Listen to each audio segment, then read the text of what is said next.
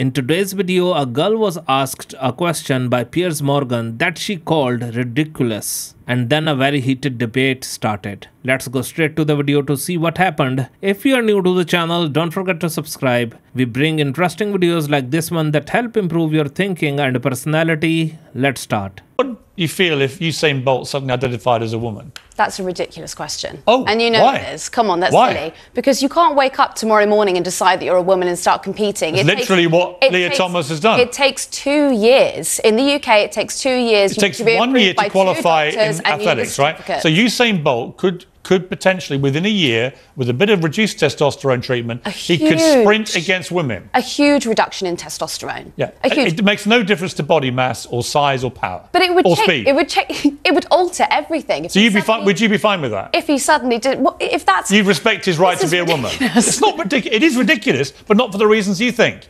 but Because it could happen, and you think it's fair. That's obscene. That is obscene. Would you be happy if making- Usain Bolt you're making- identified as a woman and began winning the races against making an women by two extreme seconds? argument out of what are people's lives. It's happening with Lia Thomas. She thinks it's ridiculous because he chose the fastest man on earth. And she cannot see the redundancy. If Mike Tyson came out as a woman, then at 56, Makila Tyson would become the most successful female boxer of all time. Piers Morgan has hit the nail on the head again and again. She just totally destroyed her own argument. She knows Piers Morgan is completely correct and has nothing to say other than ridiculous and that's obscene. Piers Morgan is literally giving her an example and she has nothing to counter with. Let me know what you think about this video in the comments. If you liked the video, don't forget to subscribe to the channel. Thank you so much for listening and supporting me. Take care.